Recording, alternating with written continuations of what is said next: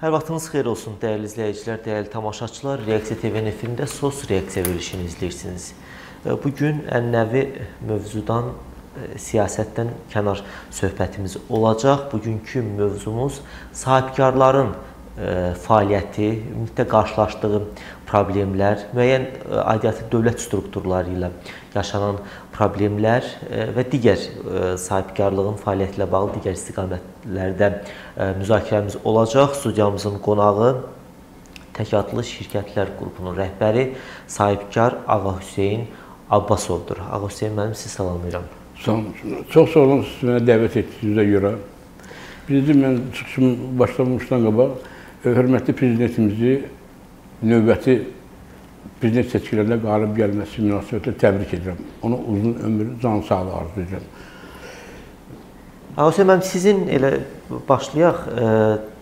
Ötən keç, keçən aylarda sizin bir təklifiniz bu studiyadan sahibkarlığın fəaliyyəti ilə inkişafı ilə bağlı bəli. səsləndirilmişdi. Bəli, bəli. O təklifləri bizə göndərmişdiniz, efirdən səslənmişdi. Buyurun, sahibkarların hazırda ə, fəaliyyəti dövlət hansı şəraiti yaradır, qarşılaşdığı problemlər və digər istiqamətdə fikirləriniz varsa buyurun. Ümumiyyətlə dövlətdə sahibkarlıq, kiçik sahibkarlıqla əlaqədar münbit şərait var. İşləmək üçün şərait var. Mən burada deməli mənim bu təkliflərim oxunandan sonra mən ə, görüşməm oldu. Ə, hörmətli Mikayıl Zabbarov İqtisadiyyat Nazirimiz sağ olsun məni Kobeyə yönləndirdi. Orada Orxan Məmmədov çox gözəl necə deyirlər qurulmuş bir iş prosesində mən tanış oldum. Bir 10 dəfə orada görüşüm oldu. Orada çox gözəl mütəxəssislər, mütəxəssislər çox gözəl bir inkişaf proqramları hazırlanır. O, o sadəcə olaraq onlar yeni texnologiyalarla, elə bir ki, dost xidməti, məsələn, yaxşı xidməti, asan xidmətdir. Belə idarələr kimi yeni texnologiyalarla başlamış, yəni idarələrdir. İnandırım sizə mən orada onların Kobe evində oldum. Orada çox gözəl şərait, hər cür şərait var. Sadəcə olaraq Mikayıl Zabbarova qədər olan problemlər var ki, hansı ki o problemləri vaxtı ilə mən 2008-2010-cu ildə Şirvanşəhər e, Sahibkarlar Konfederasiyasının e, nümayəndəliyinin direktor vəzifəsində çalışmışam. O vaxt deməli biz sahibkarlarla tez-tez görüşürdük. Həmin bugünkü mənim qaldırdığım problemləri dərhal həll etmək üçün biz nəsə çalışmalar aparırdıq. Elə oldu 2010-cu ildən sonra deməli Sahibkarlar Konfederasiyasında dəyişmə, dəyişmələr getdi. Bütün nümayəndəliklər bağlandı. Bu gün Sahibkarlar Konfederasiyası demək olar ki, hərəkətsizdir. Amma yəni, var, deyil Amma var, bəli, var, hərəkətsizdir. Niyə görə? Yəni bu problemlər iqtisadiyyat birbaşa İqtisadiyyat Nazirliyinə e, düzdür. Onlar e, bilir bu problemləri. Amma onların işinə birbaşa onların da yeni e, qurduğu işlərə mane ola bilər. 88-ci ildən kooperativlərin vaxtından firmalar, kiçik müəssisələr açıldığı vaxtdan bu problemlər yığıla-yığıla gəlib dayanıb Mikayıl Cabbarova qədər. Mikayıl Cabbarov e, çox işgüzar bir insandır. E, onun işgüzarlığı, onun başqa vəzifələrdə də işləyəndə biz hiss elədik. Vergi sistemi məsəl üçün vergi sistemini hiss elədik. İndi onların e, düzgün işləmələrinə bu kiçik sahibkarlıqda olan problemlər birbaşa istər-istəməz təmasda olub əziyyət çəkəcəklər. Burada nədir? Burada məsəl üçün mən burada gənclərin 15 illik kiçik sahibkarlıq fəaliyyəti ilə yiyələnməsi platformasının tətbiqi pilot layihədir. Uşaq bağçasından, uşaq bağçasından yönləndirmə, yönləndirmə 11-ci sinifə qədər biz həm o attestatını alır, həm də hansısa bir sənət üzrə, sənət üzrə o sertifikatını alır. O həmin uşaq əgər gənc, e, deməli oxuduğu illərdən sonra hansısa instituta da girə bilər və yaxud sahibkarlıqla məşğul ola bilər və yaxud ali təhsil alandan sonra ola bilsin sahibkarlıq baxımından onun deməli necə deyirlər, onun ixtisası ona yol verir, o sahibkar kimi istəyir. İstəyir ki, dövlətdən asılı olmasın, öz işi olsun, öz peşəsi olsun, vön alsın, istifadə eləsin, yəni pulun qazansın, öz şəraitini, öz məişətini düzəlsin. Həmin pilot layihələrdən həmin pilot layihələrdən istifadə etmək üçün bu günləri onun yönəldilməsi üçün sahibkarlıq bir qurum lazımdır. Həmin qurum var. Hər gündə bir qurum açmağa nə ehtiyacı var ki? Yəni bu günləri varsa işə götürənlər konfederasiyası varsa, onun həmin idarədən yəni istifadə edərək istifadə edərək həmin işləri görmək olar. İkinci, vergi işçilərinin sahibkarın dostudur. Mövzusu yazmışam. Bu nə deməkdir? Vergi bu günləri çox gözəl vergi sistemimiz var.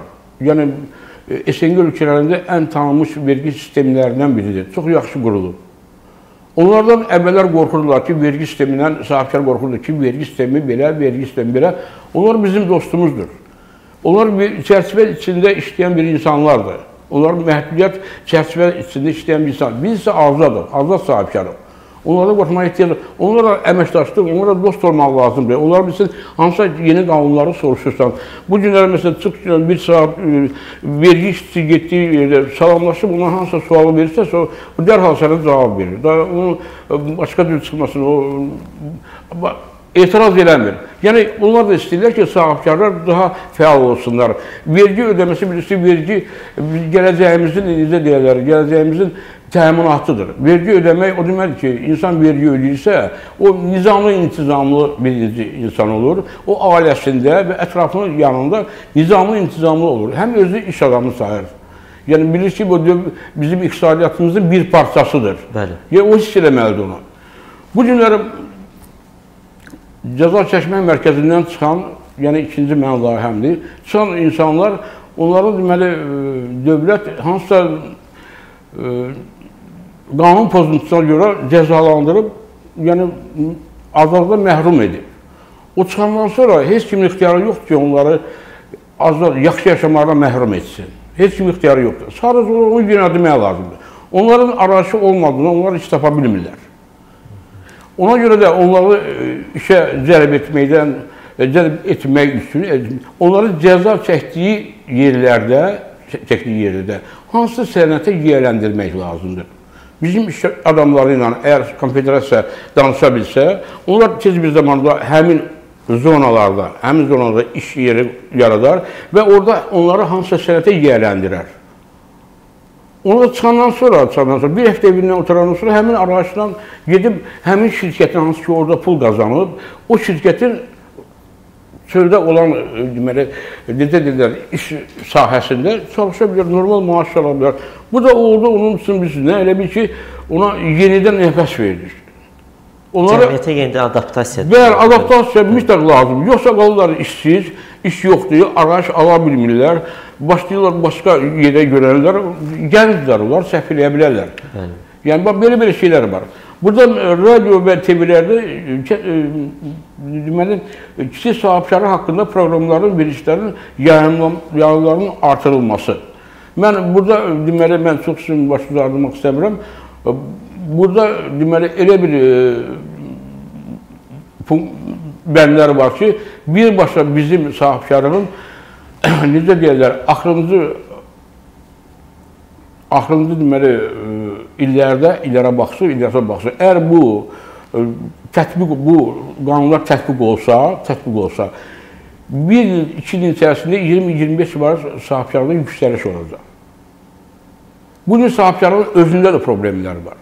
Sahibkarın çoxu bəziləri yayınmaq istəyir, yəni vergi, o bilmir vergi sistemi nədir. Var, var. O vergi sistemidir. Onlara istəyəndən sonra, onların başa salandan sonra ki, vergi ödəmək nə deməkdir? Heç bir sahibkar işi başlayanda istəmir, deyə bilməz ki, mən vergi ödəməyəcəm. O vergi ödəmək istəyir.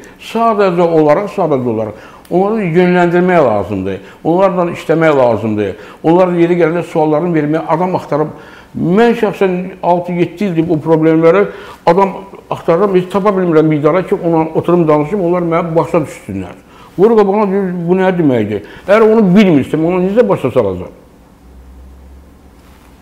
Burada mən qara icarələr, qara e, tenderlər, qara müqavilələr haqqında, vergi yayınmaları haqqında var. Yəni, bunu icarələrimizdə, icarələrimiz, icarə edersəm, icara verirsən obyekti, verirsən, dövlətin vergisi normal verir. Niyə qorxursan ki, sənin obyektin onsuz da bahalı obyektdir, elə deyilmi? Sən onu gizlətməyə görə nə əldə edirsən ki, sən navrad orada işləyən də sən kördürürsən. Orada istəyən də birdən yayınmağa meyilli olur. Əgər sən orada gizlədib buna e, yeri müqabililə ilə verirsənsə, o görür ki, elə belə öz başlanılığı gedirsə, o da yayınmaq istəyir. Yəni burada bilirsiniz nətəli, burada sahibkarlarla sahibkarların özlərində bir e, olmaq şərti ilə dövlət orqanlarının da çox böyük sahibkarlığa necə deyirlər, fəaliyyətinə müdaxiləsi olur. Müdaxilə nə mənada? Yəni müdaxilə yox, sadəcə olaraq biz bir-birimizdən asılıyıq. Biz bir-birimizdən asılıyıq. Sürü əngəllər var, bəli. Bəli, elə bil ki, mən sizə deyim, elə bil ki, bir fəhlə səhər tezdən durur, işə gedir. Yeməyin vurub oturur, işə gedir. O gedir, görür ki, avtobus dayanacaqda, avtobus vaxtında gəlmir. Yəni marşrut, nəqliyyat gəlmir. O məcbur olur şey gecikməmək üçün, o bir manatda taksitdən Halbuki o 40 qəpik verib gedəcəkdi, elə deyilmi? 60 qəpik ucu bu buradan itirdi. İşdən qaydanda yenə həmin bir mantlıq təşkilinə 60 qəpik də oradan itirdi. Gəlir evə, əli yumaq istəyir, bir su gəlmir. Liniya olduğu halda su gəlmir. O sifariş edir, su gətizdirir, sonra düyməni basır, motorla enerji işlədir, o suyu vurur. Gör, nə qədər bundan Yəni artıq xərclər çıxır. Onun axırda 150-200 manata bu e, kiçik sahibkarlıqla məşğul olan və yaxud hansısa bir fəhlə işə götürən yanında işləyən bir hansısa bir köməkçi pul itirir bu. Baxın, Azər Nəqliyyat, yəni Nəqliyyat Agentliyi, Azər Su, Azər Enerji sahibkarlığı, hamısı bir-birinə hamısı bir-birinə, yəni bunlar necə deyirlər, bir-birinə əlaqəli bir idarələrdir. Mən təklif elədim ki, hər bir e, yəni e, idarələr, hə, idarələr elə bir necə deyirlər, elə bir bir şey e, ortaya çıxardaq ki, burada məndə hazır var. Sadəcə bunu müzakirə eləmək lazım. Bunu tək mənim deməyimlə deyil. Burada ixtisasçılar var, burada millət vəkilləri var, burada hansısa sahibkarlıq fəaliyyətində birbaşa ə, marağı olan insanlar var. Dövlətimizin prezidenti bütün şəraiti bizim üçün yaradıb. Regionda Azərbaycanda olan sahibkarlıq şərait heç bir yerdə yoxdur. Var, hələ bundan sonra da gedir. Mən bayaq Kobiyadan danışanda sözüm yarımçı qaldı. Kobiyanın mən işini elə gördüm, inandırım sizə 2 ildən, 2 ildən, yaxın 5 ildən 5 ilə qədər demək olar ki, işçiliyi azalacaq. O qədər templə işləyirlər orada. Hamı çalışır orada. Yəni həmin ə, çalışdıqları işlərin nəticələri bu yaxınlarda olmasa da, yəqin 6 aydan sonra, 1 ildən sonra, hətta hör hörmətli prezidentimiz nə qədər yerlərin, binaların bünövrəsini qoyub, onlar sabah hamısı çıxacaq, uzaq, iş yerləri atılacaq. Yəni, bugün Azərbaycanda olan, deməli, iş yerləri çoxdur. Sadəcə olaraq onun yerini doldurmaq üçün yönəltmək lazımdır. Yönəltmək Burada məndə işə götürənlər də iş, işə götürən büroların yəni təmasları var. Təmaslar, onlar necə onları işləri cəlb etməli, necə yönləndirməlidir. Bu, burada bir, necə deyirlər, vaxtımız məhdud olduğuna görə bu şeylər hamısını bir yerdə biz müzakirə edə bilməyəcək. Bəli. Ona görə mən ən əsasından başlayım, mən bir kəlmə deyim. Burada mən məhkəmə, ədliyyə, daxili işlər, prokurorluq orqanlarının deməli, kiçik sahibkarlıq fəaliyyətinə aid olan sualların müzakirələri. Mən Kobiyada dedim, dedim bu idarələrdən bir dəyərli stol arxasında oturaq olun. Onlar qoşunlar qabağına kağızın hansı negativ hadisələrə biz rastlaşırıqsa, biz onları onları aradan qaldırsın. Bu oldu bizim elə bir ki, sahibkarlıq sahibkarlıq fəaliyyəti ilə dövlət orqanlarının əməkdaşlığı. Bəli. Amma monitorinq yoxlayaq, ondan sonra onun nəticəsi əldə olunmaq üçün. Yoxsa kağızdan yazdım, verdim, getdi. Yazdım verdin, getib, sən kağız gələcək, gəlməyəcək bilinmir. Bu gün həmin bir vəziyyətdəyik. Ona görə mən e, dövlətimizin başçısına 26 e, yanvar 26 2024-cü ildə deməli müraciət etmişəm, müraciət etmişəm. Və həmin müraciəti bilmirəm mən e, deyəsən göndərib və inkişaf naziri mən çox istərdim ki, dövlətimizin başçısı həmin müraciəti oxusun. Yəni burada yenə deyirəm, burada böyük bir problem deyil. Problem bir dənə idi, onu dövlətimizin başçısı həll edərdi. Torpaqlarımız azad olur. Bu da suallardır. Bazar iqtisadatı ilə tənzimlənən yəni dövlət e, siyasəti həmişə olacaq. dərəcəsi var. Bütün Avropa dövlətlərində hansı bazar iqtisadiyyatı ilə məşğul olan deməli dövlətlərdə hamısında 8-10% var. O pasiyan orada qalır. Niyə görə? Yeni baxışlar, yeni sahibkarlıq, yeni texnologiyalar, yəni məişət məişət məişətlə əlaqəli olan, yəni rısaqlar işləməyəndə o 8-10% qalır. Amma bizdə çoxdur. Onu azaldılması üçün Onu azalması üçün, yəni bu təklifləri mən göndərmişəm dövlətimizin başçısına. İndi hara məsləhətsə o yəqin ki, o özü demişkən bu sahibkarlığa yəni fəaliyyəti ilə olan işlərə o necə deyirlər, reaksiya verəcək. Dövlətin başçısı İlham Əliyev deməli İçəri şəhərin çölə çıxanda Cenab-ı Tağıyevin orada mistin qoyub yerdə. O çox e, prezidentimiz tərəfindən e, atılmış bir fəlsəfi, fəlsəfi bir addımdır. Mən onu şəxsən alqışlayıram. Orada bizim keçmişimizi, bu günümüzü və gələcəyimizi tərənnüm edən sahibkarlıq nümunəsi kimi qoyub. Onun açıqlanması biz çox vaxt tələb edir. Yəni biz ümumilikdə biz iqtisadiyyatdan narazı deyilik, iqtisadiyyatımız inkişaf edir inkişaf edir və bundan sonra daha da güclü olacaq, daha da güclü olacaq. Çünki 44 günlük müharibədən sonra biz daha çox e, biz dövlətlər sonra iş adamları, sərmayə qoymaq istəyənlər, bizimlə bir iş qurmaq istəyənlər, onlar hamısı bizə inanmağa başladılar. Buna görə biz dövlətimizin başçısına minnətdarıq ki, bu işi sümükləşmiş bir 30 illik sümükləşmiş bir problemi, yəni məsələni həll tez bir zamanda həll etdi. Öz fəaliyyətiniz istiqamətində danışmaq istəyirsinizmi? Mən Hazırda öz fəaliyyətim, fəaliyyət... bu günləri fəaliyyətimi dayandırmışam. Deməli, niyə görə? Mən e, özüm haqqında e, mən danışdım biraz çox olanda bir kəlmə deyə bilərəm. Ədliyyə Nazirliyində ədliyyə ekspertiza əldə ekspertiza deməli mərkəzi var. Mənim inşa etdiyim, şirkətimin inşa etdiyi obyektdə mənim iştirakım olmadan və yaxud mənim deməli nümayəndəm iştirakı olmadan rəy verib. Rəy verib. Belə bir ki, siz bu işi görmüsünüzsə, siz burada iştirak etməlisiniz, onun kimi ixtiyarı var onu eləməyə? Onlar and içirlər. Onlar elə başlarında qanunları pozurlar. Lazım tapırsınız da, mesaj da göndərirsiniz və yaxud saxlayırsınız ki, o adam gəlsin bir yerdə, həmin evin yiyəsi, obyektin yiyəsi maraqlı olmalıdır ki, əgər ondan şikayət edibsə, buyursun gəlsin bir yerdə araşdıraq. Bunlar iki dənə, iki dənə bir legal, e, deməli, MMC, legal hüquq e, mərkəzi var, e, ekspertiza mərkəzi var, o özəldir. Bir də ekspertiza, məhkəmə ekspertiza. İki dənə deməli, deməli, ekspertizdən düzgün rəy verməməsinə görə mənim işlərim pozulub. Plus, e, üstəlik, e, mənim Nəsimi polisində, Nəsimi polisində Firdun Yəhyayev, mənim şirkətimin direktoru, yəni orada qərarlılığı mənimsəmə faktı çox uzun müddətdə araşdırılır. Hətta məhkəmə bir dəfə e, deməli araşdırmasının müstəntiqin deməli işin düzgün hesab etməyib, etməyib. İkinci dəfə necə düşsə başlayalım, Nəsimi prokurorluğu orada müavin var, Fərid Dadası çox savadlı insandır, o ləğv eləyib. Siz necə deyirlər, 10 dənə müstəntiqin işin ləğv eləmək prokurorluq tərəfindən.